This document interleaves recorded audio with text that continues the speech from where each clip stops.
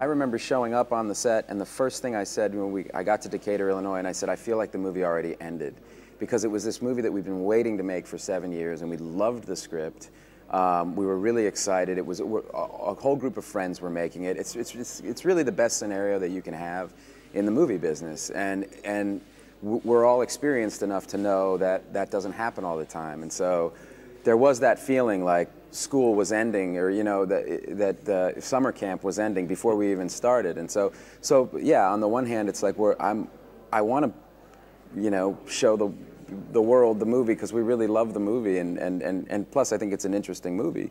Um, but in terms of the yeah the red carpet I wouldn't I wouldn't say that either of us are particularly it's not our it's, strong suit. it's, it's just weird yeah it's just surreal. weird it's not natural I guess and there's no I think, but I think it's normal to feel weird doing it. I, I, think the, the only thing worse than feeling weird doing it is feeling totally okay, normal yeah. doing it. Then you're obviously a crazy person. Right. So I just try and keep that in mind that it's okay that I feel awkward.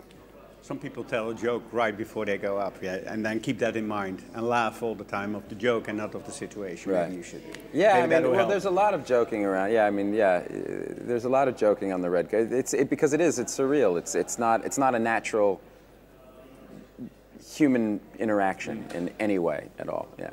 It's kind of a new th think of it. Think how long has the red carpet been around? 70 years? Probably. 60, 70 years? It is kind of a new a new wrinkle in in uh, human behavior. Like imagine if you saw a bunch of cavemen standing around and like screaming at one of the cavemen who was just kind of walking by them, who was kind of, ugh, ugh. I see you at the red park carpet tonight. Okay, uh, good. good. I, I hope you have a joke. Behave. Yeah, yeah, yeah. Come with a joke. yeah, right. Uh,